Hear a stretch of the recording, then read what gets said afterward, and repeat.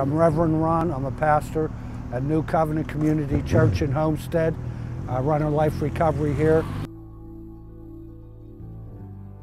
Try to help people that are addicted to drugs, alcohol, and all the addictions.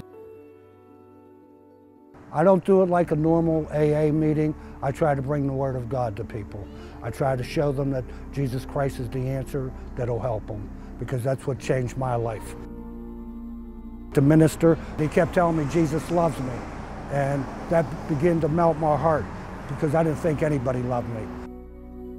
We all have hurts and pains in our lives. We all look for something to try to ease that hurt and pain. And a lot of people go into alcohol, a lot of people go into the drugs. But you get that drug and you can forget about your problems for a while, that becomes your God. You wake up the next morning, that hurt was still there. The AAA, AA, NA, they'll tell you that there's a higher power, but that higher power got to have a name. And uh, to me, the higher power is Jesus Christ.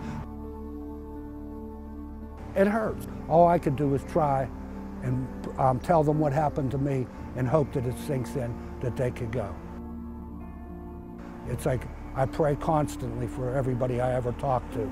Everybody that comes to a meeting, I get their phone number. If I don't see them in a couple weeks, I call them. And you just hope it's that one moment that they'll say, I had enough of this crazy life and want to walk it, you know.